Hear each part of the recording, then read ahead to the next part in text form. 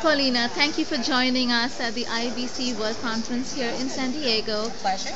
Could you tell us a little bit about MarketWire? MarketWire advances the way the world communicates. We do this in several ways. We started out as a press release distribution company, a dominant uh, global distributor of news releases for companies worldwide. We now have uh, acquired a company that's uh, social media business tools called Sysomos, and those tools are incorporated into our many offerings so that communication professionals have an end-to-end workflow solution.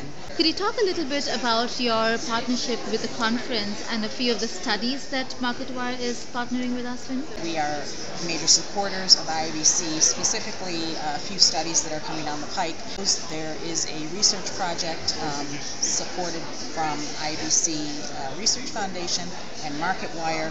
That study actually takes a look at chief communicators and how their role in communication is vital to the success of any corporation. And you had a panel for the Conversations with CEOs discussion yesterday. Yes. Could you talk a little bit about the panel and some of the key takeaways for you? A couple of the things that we learned um, in that conversation is that your integrity, um, your core values, both personally and professionally, uh, are part of your vision, part of who your company is. And those uh, need to be communicated appropriately to both internal and external stakeholders. What are some of the key trends that you're seeing in public relations today? Uh, key trends in public relations, there are so many.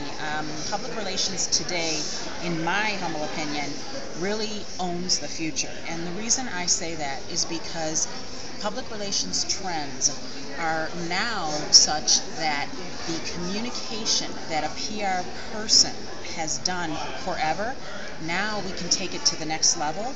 We can optimize those communications. We can share them in traditional and new media channels. We can even get feedback, immediate real time feedback on those communications so that we can take that intelligence and weave it into our strategies moving forward.